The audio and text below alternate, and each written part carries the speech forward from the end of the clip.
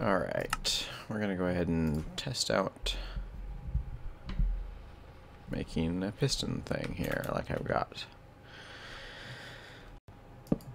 There we go, okay. Then we need to set up a clock. Alright, so basically just have an observer looking at the torch here and that's it. That's that's the the hub. So that's the first thing to be triggered. So then you've got whatever pattern you're going from from there. You've got let's say we're going out four and it's five in each direction.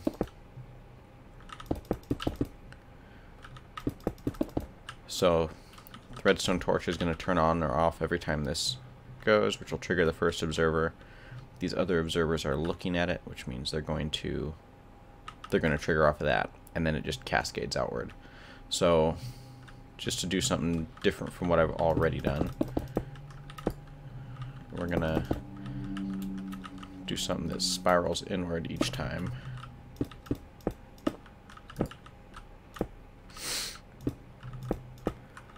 So you have each new observer that you place facing the last one.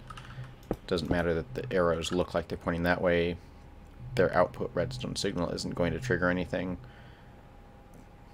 So it's kind of irrelevant.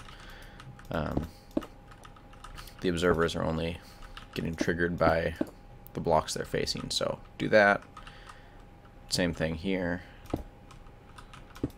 So the idea is you have this whole field of observers that will trigger on in sequence, however you've got it lined up. In this case, I'm doing spirals, but could just be pulsating out from the center. Um, you could have these branches and then just run off to the side from there. And that was the first one I made. It just starts at the center and just undulates out from there.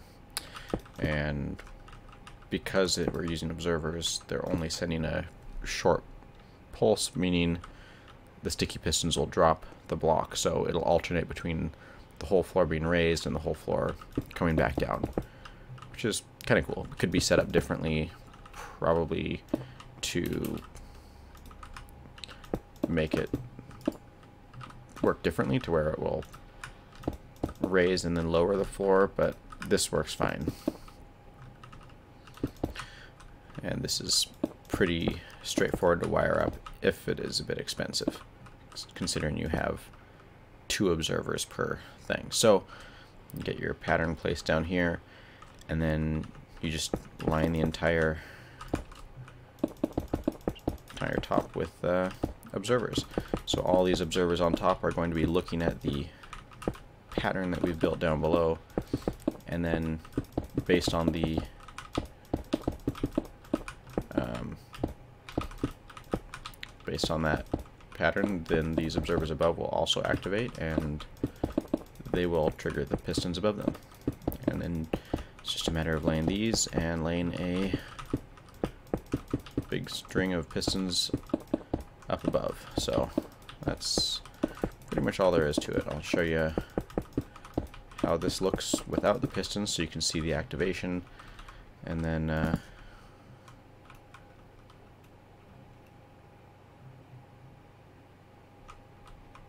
go from there. So you can see the observers activating in series because of the observers below triggering them.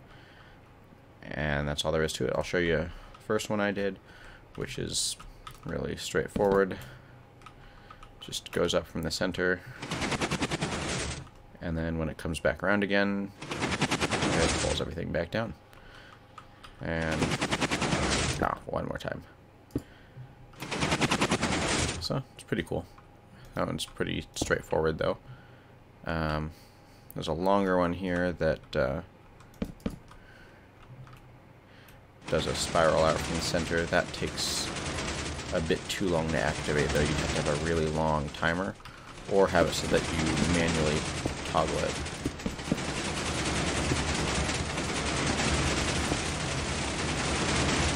Or you can set it up on a short clock and have a constantly adjusting floor. The other application for this type of a build would be if you wanted uh, some sort of large scale lighting to, I don't know, let's say do a rotating, like loading cursor, you could just replace the pistons with redstone lamps and get a similar effect. So this here does the same exact, oh no, this is a little bit different, but I'll go ahead and show you how this one works just as a example. Similar to what I just built, except it's separated into sets of two rows. So it goes out from the center and then splits off and curls back in to finish it up. Looks kind of cool, but uh,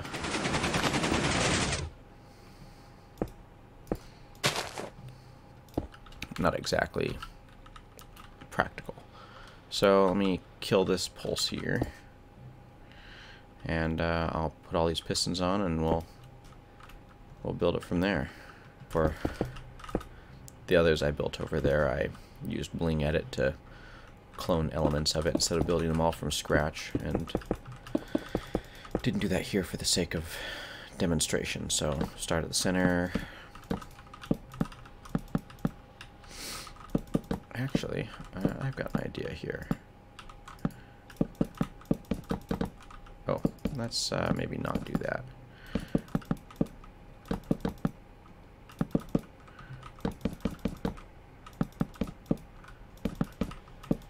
Just because of the pattern that would end up being created, not in good taste. Alright. Uh, yeah, let's just go back towards dark back towards light. Something like that. Yeah, that's, that's pretty good. Okay. That actually has a nice look to it. I like that. Now if we trigger this here, we'll be able to see it go out and spiral inward.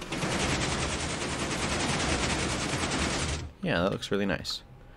So, this wouldn't be something you'd set up on a clock in most use cases.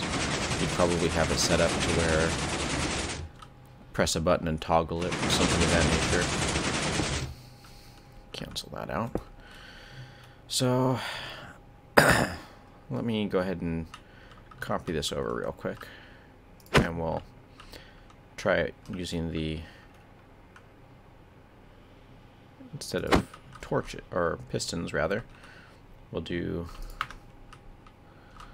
we'll do something different. That's good. Alright so on top of here we'll get some lamps. Run that through. Oh, that oh, that is not what I expected, but that actually looks really cool.